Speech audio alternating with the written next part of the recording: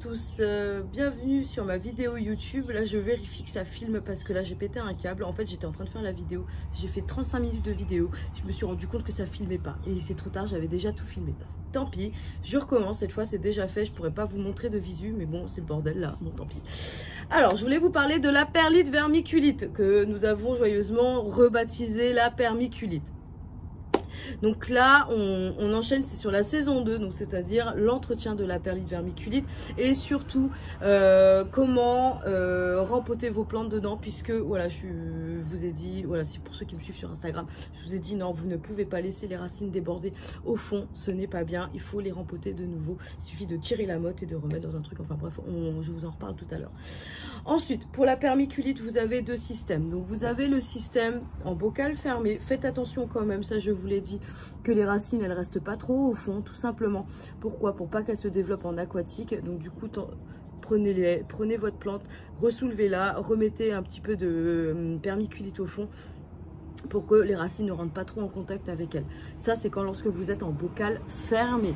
Donc du coup, c'est pour ça que moi, je préfère le bocal, le truc système ouvert. Les gens me voient souvent... Oh Jusqu'au bout, là. Jusqu'au bout. Enfin, bref. C'est pour ça que vous me voyez souvent euh, en système euh, comme ceci. je suis désolée, je vais remettre un petit peu d'eau. Donc, c'est-à-dire que le trou, il est drainé au fond et c'est ouvert dedans. Enfin, c'est fait, c'est... Euh, c'est bon, on va remettre par-dessus, hein, comme ça. tout salopé. On va remettre les un tiers. Donc là, voilà, là, c'est un syngonium et un mélanochrysum qui ont été bouturés dedans. Donc du coup, tout va très bien. Ils sont en train de pousser. On voit le mélano qui... Ah, mais jusqu'au bout, quoi, bordel donc là, on voit le, mélano qui est en train de pousser, là, les petites racines, ici. Et là, on voit notre... Mais c'est pas possible. J'en ai marre. Ensuite, euh, donc voilà, deux types de systèmes, ce qui est tout à fait possible, mais faites attention, il y a un petit peu plus de travail là-dessus. Là, c'est un Xanthosoma Trovirens albo variegata que j'ai mis en perlite vermiculite, puisque monsieur ne se plaisait pas en substrat, je sais pas, il arrêtait pas de me faire des emmerdes. Donc du coup, je l'ai balancé dedans. Ça a l'air de mieux aller, puisqu'il a l'air de reprendre du poil de la bête dedans. Ensuite, on va basculer sur euh, l'entretien. Je comprends tout à fait qu'il y ait des gens qui veulent rester en perlite vermiculite, en permiculite tout simplement. Pourquoi? Parce que c'est beaucoup plus simple. Vous êtes sur des systèmes très simples d'hydropassif. Donc c'est-à-dire que en gros, lorsque vous êtes sur ce type de substrat, vous êtes à 50% d'oxygène, 50% d'humidité. Donc du coup, c'est très par c'est parfait pour la plante. Ça ne bouge pas. Et les plantes, généralement, je vous l'ai dit, elles n'aiment pas trop les variations. Surtout sur les alocasias. C'est pour ça que ça marche très très bien sur les alocasias. Très peu de variations. Et en plus, en hydropassive, vous vous affranchissez d'une partie des besoins en humidité ambiante autour du feuillage. Donc du coup, c'est pour ça que les plantes, elles s'y plaisent, notamment les aloes. Pour ça que ça marche très très bien. Donc là, on voit, hein, sa feuille, elle est enceinte, hein, ça va, ça pousse, tout va bien. Euh, si vous voulez conserver ce type de système, il va falloir adopter le système d'hydropassive, ce qui existe déjà, par exemple, sur le lait sur le LECA. Ce sont de vieilles techniques, ce existe déjà. Donc en gros, vous pouvez reproduire ça sur la perlite vermiculite tout simplement.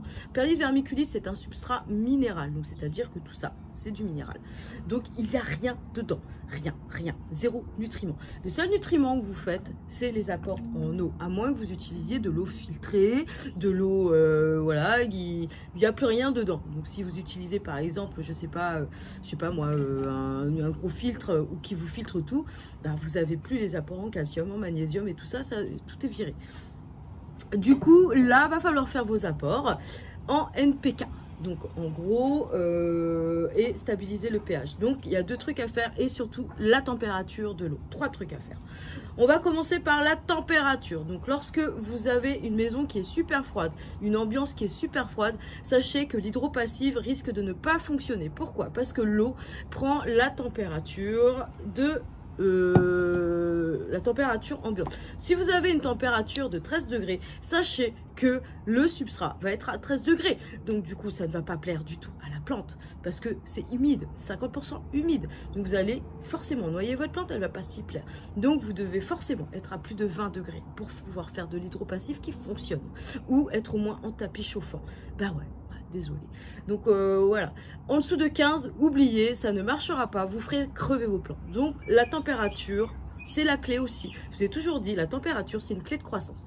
Donc, vous devez avoir une température pas non plus élevée, parce que sinon, vous allez flinguer vos plantes. Il vous faut une température stable, entre 20 et 25 degrés. C'est tout. Vous ne bougez pas de là. C'est parfait.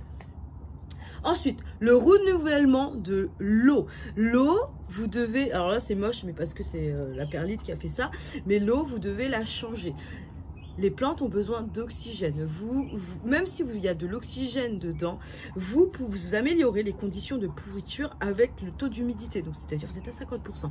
Les champignons, les pourrites, la pourriture, c'est des champignons. Ces champignons poussent en milieu anaérobie, c'est-à-dire zéro oxygène. Ils prolifèrent dedans.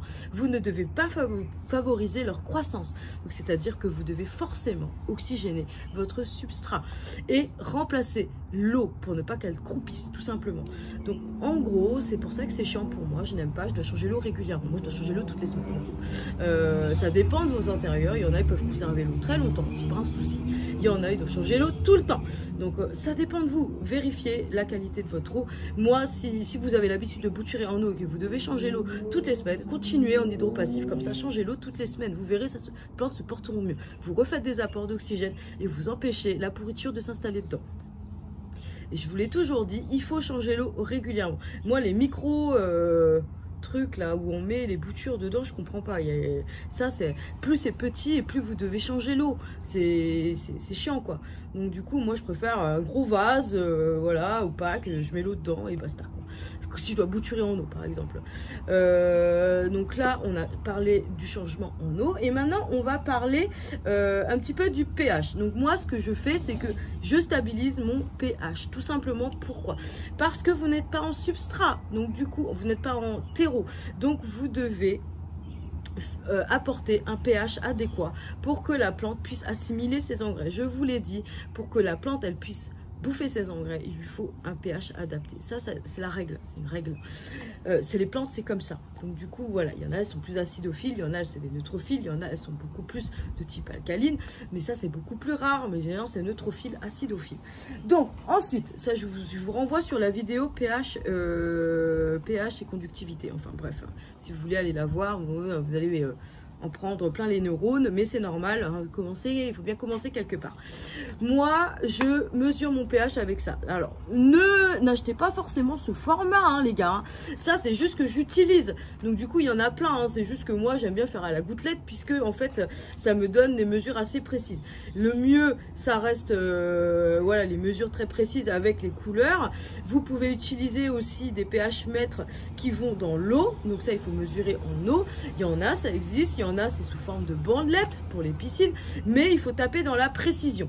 Donc, c'est-à-dire qu'il faut un pH mètre assez précis. Donc, c'est-à-dire, ne, prenez pas un pH euh, mètre qui ne mesure pas de façon précise, type les bandelettes de piscine, je suis désolée, c'est pas assez précis pour moi. Donc du coup, il faut taper dans les trucs d'aquarophilie, c'est beaucoup mieux. Pour ceux qui bouturent en aquarophilie, justement, c'est beaucoup, ils, arrivent à bouturer en aquarophilie. Pourquoi? Parce que l'eau, elle est continuellement filtrée. Il y a des apports en oxygène régulièrement parce qu'elle est filtrée. Il y a des filtres dedans. Ensuite, il y a du charbon actif qui va nettoyer l'eau et euh, se débarrasser un petit peu de tout ce qui est pourrave parce qu'il y a du charbon actif. Le charbon actif est en contact avec le filtre. Généralement, ça se met dedans. Donc, il y a un flux continu dedans qui fait que justement, ça nettoie l'eau. Ça sert à ça, justement, les aqua, le charbon actif dans les filtres et pas dans les terreaux. C'est pour ça que je vous en avais parlé aussi dans les mythes horticoles. Ensuite, le pH, généralement, si les gens, ils ont des plantes dedans, ils ont un pH qui est stabilisé, plutôt acidophile. Donc, du coup, ils ont déjà un bon pH dedans. Ensuite, caca de poisson, engrais. Donc du coup, voilà, il y a des apports d'engrais via le caca de poisson. Du coup, c'est pour ça que le bouturage en aquarium se passe très très bien, généralement. Alors, me le faites pas en eau de mer, hein, euh, voilà. Là, je parle des aquariums en eau douce. Je sais pas si en aquarium, ça fonctionne. En eau de mer, ça fonctionne. J'ai pas regardé. Je sais que moi, ça fonctionne très bien en, aquarium eau douce. J'en avais un puisque j'avais euh, à Nancy. Enfin bref, le bouturage en, aquarium d'eau douce, euh, euh, voilà, le truc qui filtre et tout ça, c'est parfait. Donc changement, enfin apport en oxygène, pH stabilisé, température généralement bonne, puisque généralement vous n'êtes pas à 15 degrés généralement dedans, et ensuite les engrais avec le caca de poisson. Voilà, donc c'est pour ça que ça marche. Ensuite, pour tout ce qui est engrais, là, on va passer un... Euh, moi, j'en ai deux, j'en utilise deux. C'est Atlantica Phytomar. Format pro. Donc du coup, voilà, je vais pas vous le présenter. Euh, J'utilise les deux. L'autre, il est beaucoup plus dans les conditions de bouturage. Euh, et sinon, j'en présente un que j'utilise tout le temps, régulièrement. C'est le Plant, le Plant Prod 20-20-20. Donc celui-ci, c'est un pur chimique. Évitez l'organique dans ce type de substrat. Donc c'est-à-dire qu'il n'est pas adapté pour ce qui est organique. Alors peut-être en foliaire, je sais pas, j'ai pas regardé. Mais pour moi, tout ce qui est engrais organique nécessite une transformation dans le terreau. Il n'y a pas de terreau là-dedans, vous êtes en 100% minéral. Donc je vois pas comment les transformations peuvent, se faire et comment le, la plante peut assimiler le le, NPK en fait de l'organique. C'est pour ça que moi je vous recommande du chimique par contre, sur tout ce qui est euh, permiculite, donc substrat minéral. Donc moi ce que je fais, je l'utilise en foliaire.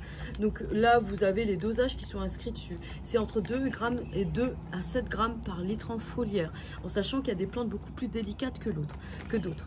Là vous êtes sur une, une Alocasia nebula imperialis. Donc celle-ci je viens de la rempoter. Lorsque vous avez des plantes qui dégueulent par le dessous de, du pot, rempotez-les dans des espèces de cache-pot comme ça. Donc c'est vous pouvez faire un double pot transparent comme ça. Ça marche très très bien. Euh euh, les rempoter dans vous prenez la motte, vous dégagez, c'est con parce que vraiment je vous l'avais filmé, bon pour le coup tant pis, vous dégagez la motte, vous remettez dedans et vous remettez de la perlivermiculite autour, vous ne changez rien et ensuite vous remettez de l'eau au fond tout simplement. Vous, pour maintenir les plantes avec des engrais, vous prenez le plant prod, le plant prod 20 20 20 et vous utilisez en foliaire. Pourquoi je l'utilise en foliaire? Tout simplement parce que j'ai toujours peur que les racines soient brûlées c'est toujours la question de température. Normalement, vous pourriez l'utiliser dans l'eau, mais moi je ne le fais pas parce que j'ai des trop grosses variations de température. Je peux basculer à 35 degrés dans ma flotte, donc du coup je ne veux pas le faire. Lorsque je mesure les températures de mes substrats, la plupart sont parfois à 35 degrés. Ils supportent, hein, ils vont très très bien. Par contre, c'est humide. Euh, mais ça reste quand même à 35 degrés. Normalement, en conditions normales, je suis plutôt à 27, 26 degrés. Lorsqu'il fait très très chaud, je peux monter à 35, ce qui est énorme. Donc du coup, je sais que mon engrais, il va virer, il va partir en couille dedans. Donc du coup, je préfère pas jouer avec ça. C'est pour ça que je fais que du foliaire. Foliaire, c'est du pipchit par-dessus. Vous faites ça une fois par mois, ça suffit largement. Donc voilà, si vous voulez conserver en, permis, en, en permiculite, vous devez stabiliser le pH, le mesurer, le stabiliser. Vous avez une eau généralement trop calcaire. Donc du coup, vous devez le diminuer. Généralement, les aracées, on est entre 5,5 et 6,5. Donc baissez l'eau de votre pH toujours dans le matos d'aquarophilie. Donc du coup, moi c'est du pH minus. N'utilisez pas tout ce qui est citron, vinaigre et tout ça. Ce n'est pas stable. Donc ce n'est pas fait pour ça. va le baisser d'un coup, très sec rapidement et ensuite quelques jours après ça va remonter. Donc ça ne marche pas. Vous devez absolument utiliser des produits qui sont faits pour. Donc du coup pH minus. Et encore même au bout d'une semaine généralement ça remonte. Donc du coup c'est pour ça que euh, moi je change l'eau assez régulièrement. Moi je mesure mon eau avant. Donc c'est à dire que j'utilise mon je prends mon eau de robinet je laisse poser mon eau, donc voilà la méthode. Je laisse poser mon eau 24 heures puisque j'essaie de me débarrasser de mon chlore généralement. Euh, donc il faut laisser poser votre eau 24 heures. Vous allez voir, le chlore va s'évaporer tout simplement. C'est comme ça qu'on fait pour se débarrasser du chlore dans l'eau. Et ensuite, vous mesurez le pH de votre eau et ensuite vous le diminuez avec le pH minus. Vous essayez de basculer sur le pH adapté à la plante. Les calathea, c'est pas la même chose que les certaines autres plantes. Enfin bref, Renseignez-vous sur le pH de vos plantes.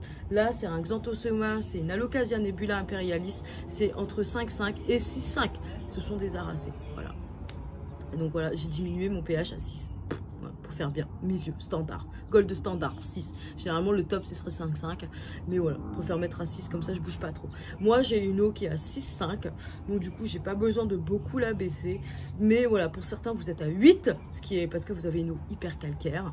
Donc, du coup, voilà, va falloir en utiliser des doses de pH minus. Donc, euh, acheter des bidons, hein, s'il faut. Donc, euh, en gros, voilà. Après, pour euh, tout ce qui est eau, faites attention Euh, vous ne pouvez pas conserver une éternité l'eau, utilisez-la tout de suite. Euh, voilà, moi je la conserve pas généralement, voilà, j'arrose une plante avec, mais euh, en gros je la conserve pas.